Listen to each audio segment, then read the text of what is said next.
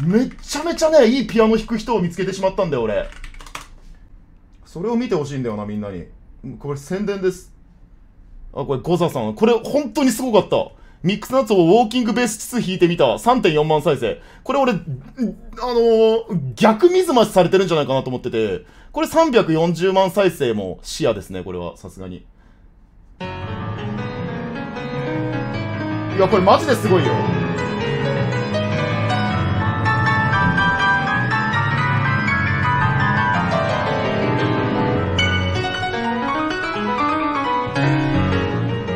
このね、左手が単独で動くのって、マジで難しいの。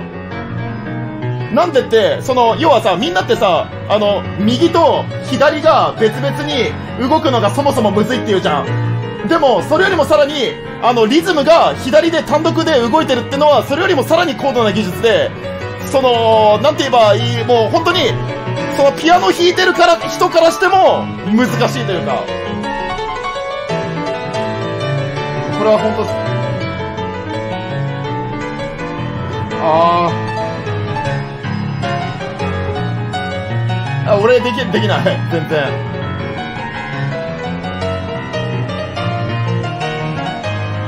マジでうまいよなこれ。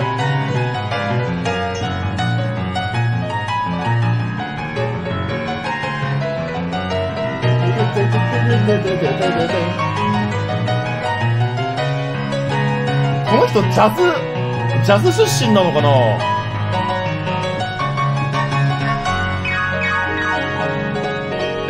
うんこの人ジャズ出身なんだろうな。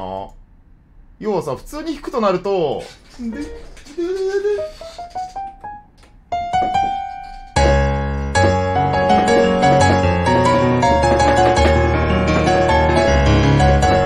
これはちょっと違うのよ。要はこうスケールで弾いてるだけだからさじゃなくて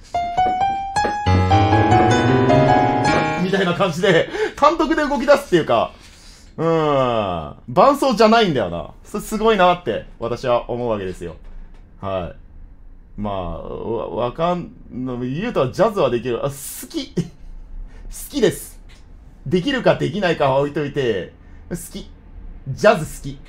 うん。